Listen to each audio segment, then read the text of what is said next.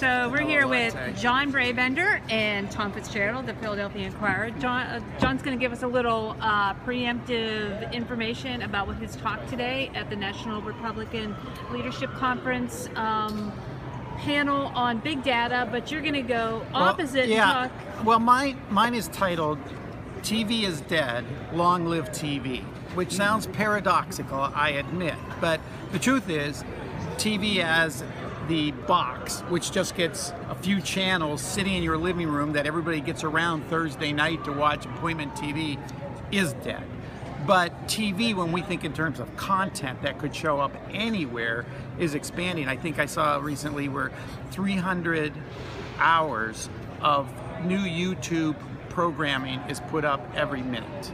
I mean, the, the amount of content that is out there. So now, what's happened with big data, which is very simply throwing a lot of stuff into a big pot, stirring it up, and you find insights you never would have without the computer power you have today with big data, gives you a lot of strategic things. But the real move now is the small data all the way down to the household level, and particularly in politics, where you can find out what their main interests are, what their issues are, and where they are viewing their content. So that now you can reach them a lot more efficiently. And, and I, as I like to say, digital is the great equalizer in campaigns, and we'll see that in the presidential campaigns. You don't have to be the one with $100 million being raised or more.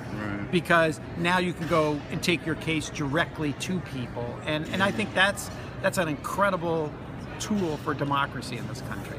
So, Does it kind of mess with the economics of uh, media consultant business? are you saying can I not make as much money? yeah, essentially. Yeah. Well, the, the In a good, polite way. the good news is campaigns still are going to raise whatever they're going to raise, and they're still going to spend whatever they're going to spend. But the truth of the matter is, I don't think anybody has ever gotten the office or ran for office saying, you know. I wasn't going to run, but if this is going to help John Brabender, I'm getting in this race. I mean, my, my job is not to see how much money I can make off a campaign. It's and it's it's not even to tell a candidate what to say to get elected. is to find out what they truly believe, what their core values are, and effectively and efficiently distribute that message to voters. Right. You know, and and that's what a, a good media consultant does. You know, the bad candidates sometimes want to be wound up and told what to say. The good candidates already know what they want to say. They just want to make sure as many people hear that message as possible, and that's that's sort of my job.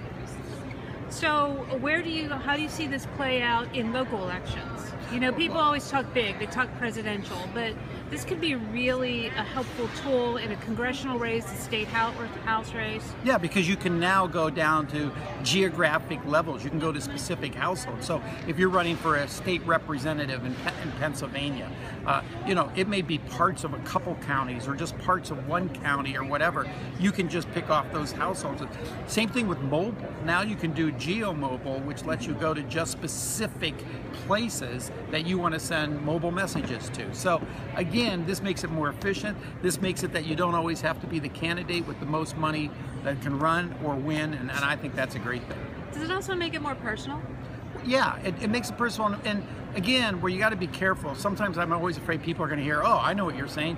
This household's going to hear one thing they want to hear, and this household's going to hear another thing they want to hear.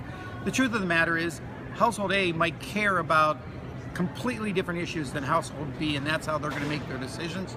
Well, then you should have a discussion with household A of where you stand on those particular issues. So where do you, how do you see this play out in the presidential elections this year? Well, it's interesting because, you know, let's take the Republican side, where, you know, we're not talking to the whole country. We're, we're not talking to the whole Republican Party. We're talking to Republican primary voters, which are, just like on the Democrat side, the ones who show up for primaries are much more engaged. They're the much more to watch and be news oriented. They're much more to go online. They're much more to follow somebody on Twitter that is of their same uh, ideology and so forth. And so, you know, I, I do feel a little sorry. There's going to be this core group of people who's going to hear from what I would say is probably the strongest core group of candidates by one party in the history of this country. You got 12 to 13 very credible candidates running, all that are going to be very savvy when it comes to using digital marketing, and you're going to have a very finite number of people who are going to be hearing from them over and over again. But and I want to ask you about that. You know, this is really is an interesting year for the Republicans. They have a very diverse uh, group. They have a very successful group of people that are running in their in their states. And you know, can you just talk a little bit about that? Well, my argument was if we could take our top 11 and debate their top 11, uh, it, Vegas would set us as a two touchdown favorite. Uh, I, I mean, you know, you, as you see, you know they're having trouble getting enough candidates into the race. One is obviously they see an inevitability with Hillary, but to be honest with you, that that is symptomatic alone that they don't find quality candidates that can offer an opposing view to her in their own party, which they should.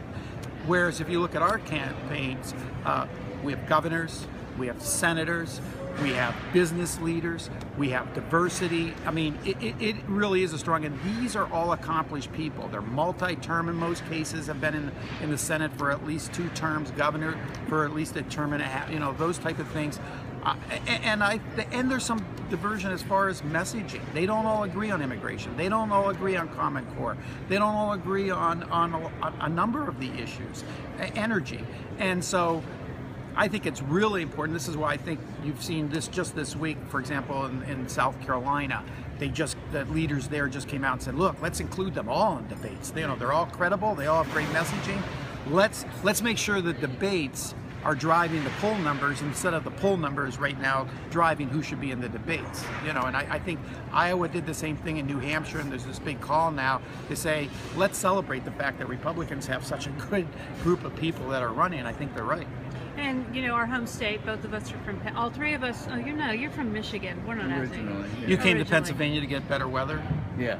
So, Showing, So, showing I my wisdom. With as many people in the race, is there a possibility that a Republican primary could actually be interesting this time in Pennsylvania? uh, let's hope. Uh, Yeah. You know, I mean, as you know, the problem always is it seems like it's developed and finished before it oftentimes Right. gets to Pennsylvania. I think the way it's set up is a lot different this time. By way of example, last time Iowa was won by Rick Santorum, I think with 27% of the vote. Someone's going to win it maybe this time with 18% of the vote. And all these states, you know, you're not there to get 50 plus one. You're there to get a certain number of delegates. But because there's so many credible candidates, there is every indication that it's going to go much longer with more qualified candidates going much longer, which means it very well may make it where Pennsylvania is not just important, it's critical. Right, and if you look at 2008, no one thought that, that Pennsylvania would be an important uh, state for the Democratic primary. It turned out that they spent six weeks there be, because of um, how close that contest would be. Wouldn't that be great for the Republican Party in Pennsylvania if, you know, there were six weeks of campaigning in our state? Oh, I think so, uh, and, and especially again, Pennsylvania is very diverse in the sense that, as as we always say, and you know, that in, in the West and the East and in the Central, completely different issue cores, things people want to talk about, how they feel, for example, about Marcellus Shale in one part of the state's completely different than the other part of the states.